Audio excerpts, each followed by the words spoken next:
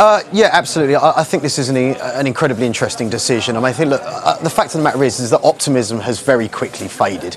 You know, Greece is looking to ease terms of the 240 billion bailout uh, with its creditors, but whether or not it will be able to do this is another story. I mean, this is very much uh, the ECB feeling that there is it's not currently possible to conclude the bailout deal. You know, it's been a nudge by the ECB and Germany, well, sorry, Germany and the ECB governing council to force Greece to uh, speed up negotiations uh, and announce an agreement on, on the debt programme. Um, they're still going to be able to access funding from the central bank or the Greek central bank, but it's going to be at a much, much higher cost. And whether this is going to be good for Greece or not is another story because let's face it, higher borrowing costs is going to plunge them into further debt, which you know is not great for Greece at the moment.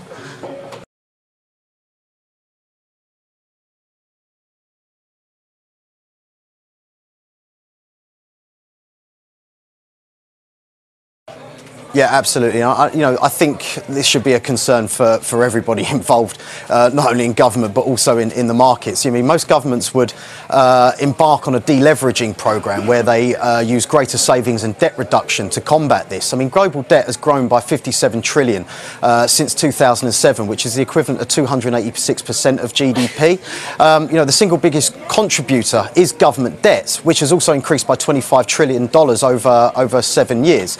And I believe the only uh, major economies that have been able to reduce debt is Israel, Egypt, Romania, Saudi Arabia, and Argentina.